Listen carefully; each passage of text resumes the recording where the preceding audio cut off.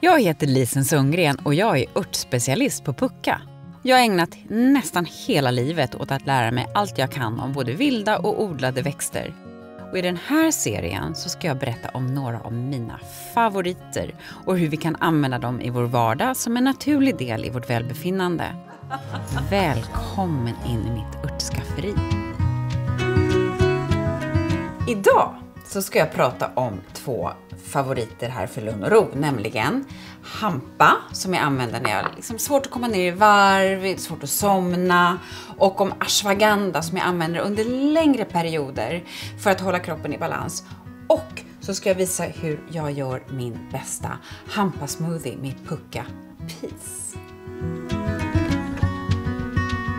Om vi börjar då med eh, hampan så är det en oldie but goodie som har odlats i tusentals år och används som livsmedel i både Europa, Asien och Ryssland. Den har använts som livsmedel just för att den är så näringsrik. Den innehåller proteiner, en bra balans av omegafettsyrorna 3, 6 och 9 som vi behöver för att må bra. Eh, och även om det är en lätt odlad snabbväxande gröda så betyder inte det att det inte är en komplex växt. Ashwagandha är en växt som jag tycker så otroligt mycket om. Den betraktas som en av de absolut viktigaste växterna i ayurvedan och eh, Puckas ashwagandha kommer ifrån Indien, från Karnataka. Det speciella med ashwagandha när man odlar är att den tål att växa på platser där andra växter inte trivs.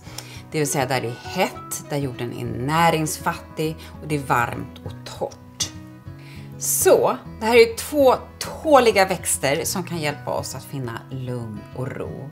Och då får man faktiskt energi över att göra en smoothie och det ska vi göra nu.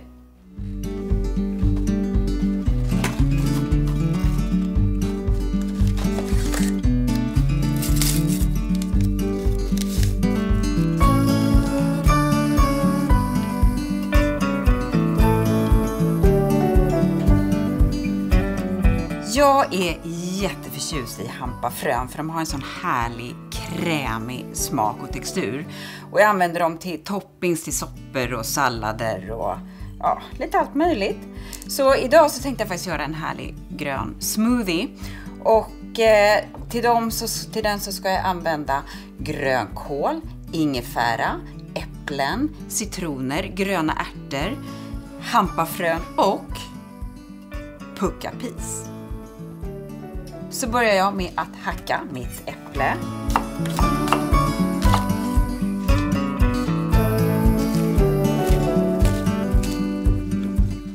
Vad har vi mer? Ingefära.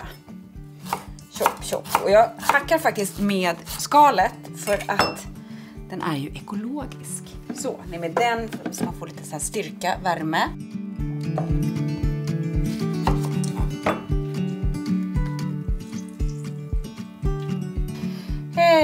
Vi mer? Hampafröna såklart. Huvudpersonerna har vi där.